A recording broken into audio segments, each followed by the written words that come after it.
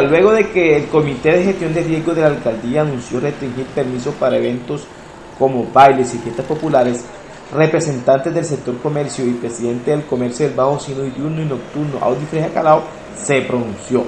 De verdad que el sector comercio en estos momentos está muy preocupado a raíz de la nueva oleada de la nueva cepa, esa Omicron, que se está dando a nivel mundial. Nosotros vemos con preocupación de que ya en Montería, a partir desde el día de hoy, han suspendido todos los conciertos, eventos donde asisten multitudes.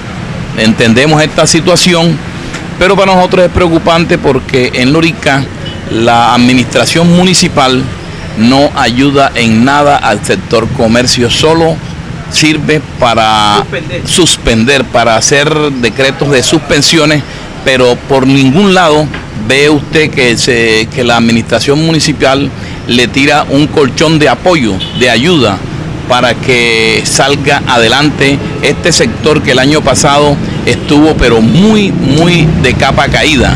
Preocupante que todo el mundo lo que hace es suspender, suspender, pero no buscan la forma de que el comercio eh, siga adelante, eche para adelante y esto va a traer una crisis económica al municipio de Santa Cruz de Lorica. En dicho comité también se estableció reforzar las vacunas en establecimientos educativos para proteger la vida y la salud de las comunidades estudiantiles. Es de notar que hasta el 12 de enero de 2022 se contabilizaba en todo Lorica 33 casos positivos y un fallecido y 7 pacientes recuperados que han sido atendidos en centros médicos de la ciudad.